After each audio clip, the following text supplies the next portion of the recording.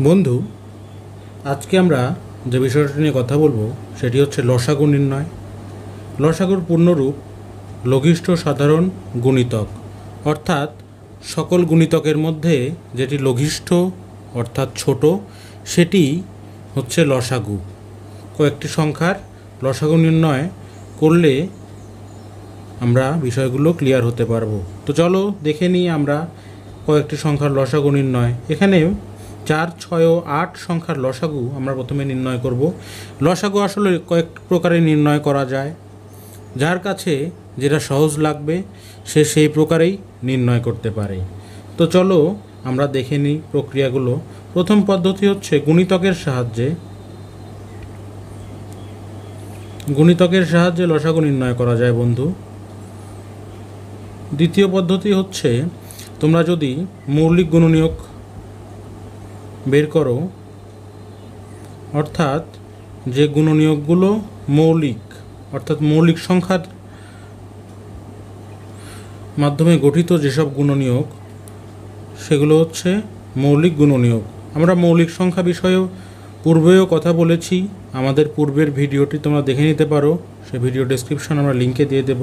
যাই হোক, এবং আরেক প্রকারে নির্ণয় করা যায়, সেটি হচ্ছে ইউক্লিডীয় পদ্ধতি, বন্ধু। ইউক্লিডীয় পদ্ধতি। তো চলো আমরা তিন প্রকারেই আজকে দেখে নিব। প্রথমে যদি গুণিতকের সাহায্যে দেখে দেখে নিতে চাই, তাহলে এখানে গুণিতকের সাহায্যে তোমরা জানোই গুণিতক কী। যেমন চারের গুণিতক, চার, আট। চারের ঘরের নামতা, বন্ধু।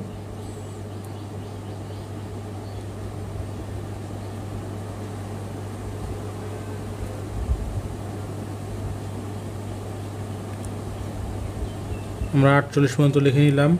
আবার ছয়ের ঘরের নাম নামতে একইভাবে। গুণিতক।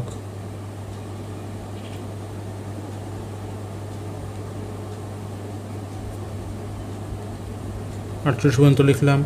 এবার আটের ঘরের তোমরা সর্বোচ্চ সংখ্যক লেখে নেওয়ার চেষ্টা করবে দশ থেকে বারোটা, যদি এই নিয়মে করো। গুণিতকের সাহায্যে। গুণিতক। এবং আটের ঘরের যদি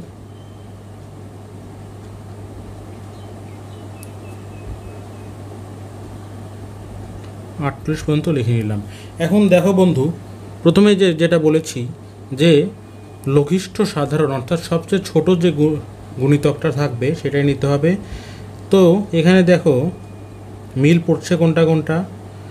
তিনটার মধ্যে যেটা মিল আছে, যেমন প্রথমে একটা মিল দেখলাম, চব্বিশ। তিনটাতেই আছে। এরকম আটচল্লিশও কিন্তু তিনটাতেই আছে বন্ধু। দেখো, এগুলোর মধ্যে যেটা সবচেয়ে ছোট, অর্থাৎ চব্বিশ হচ্ছে সবচেয়ে ছোট গুণিতক, চব্বিশের ছোট কোনো সাধারণ গুণিতক নেই, তো লঘিষ্ঠ সাধারণ গুণিতক এই ক্ষেত্রে বের হলো চব্বিশ। তো বন্ধু, এটা আমাদের হয়ে গেল। পরবর্তী নিয়মটা যেটা আমরা বলেছি যে মৌলিক গুণনীয়কের সাহায্যে আমরা দেখব যে কীভাবে বের করতে হয়। চলো দেখে নিই। চারের এই পাশে লিখে দিই, মৌলিক গুণনীয়ক। এই নিয়মটা দুই নম্বর নিয়ম। চারের মৌলিক গুণিতক কী কী বন্ধু? দুই এবং দুই। মৌলিক গুণনীয়ক, দুঃখিত মৌলিক গুণনীয়ক। ছয়ের মৌলিক গুণনীয়ক কী বন্ধু? দুই গুণন তিন। এবং আটের মৌলিক গুণনীয়ক একইভাবে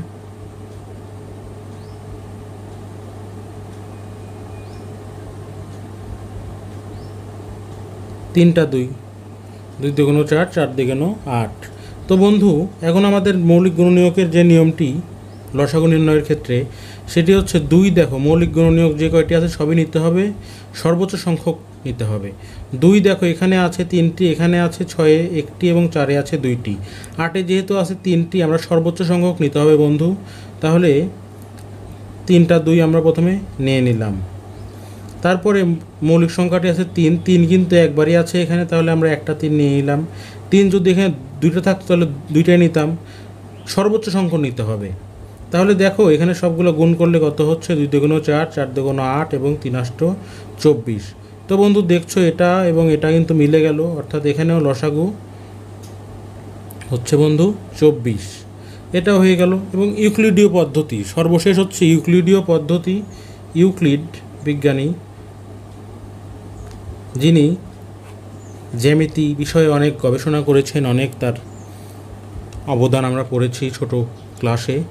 তো ইউক্লিডের নিয়মে আমরা যেভাবে করব, চার, ছয় এবং আট, তোমরা জানোই যেভাবে করতে হয় করে সর্বোচ্চ দুইটি সংখ্যাকে যাতে যায়, অর্থাৎ বিভাজ্য হয়, সেরকম একটি মৌলিক গুণনীয়ক নিতে হবে।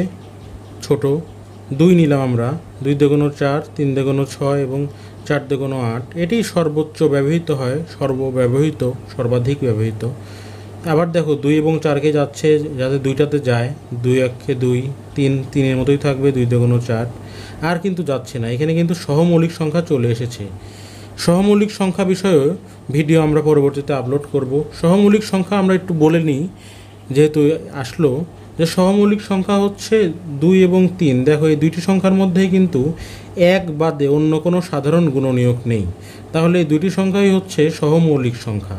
তাহলে বন্ধু, ইউক্লিড নিয়মে এখানে সবগুলোকে আমরা যেগুলো ভাগ করলাম, সেই ভাজকগুলোকে আমরা লিখব এবং গুণ আকারে লিখব। এই দুইটা নিলাম এবং শেষে যেগুলো অবশিষ্ট আছে সেগুলো গুণ আকারে থাকবে শেষ লাইনেরগুলো। তো দেখো বন্ধু, সবগুলো গুণ করলে দুই দোগুনো চার চার দোগুনো আট এবং তিন আটটা চব্বিশ। এখানেও কিন্তু চব্বিশে বের হয়ে গেল লসাগু। তো বন্ধু, তিন নিয়মের যে কোনো এক নিয়মে তোমরা করতে পারো।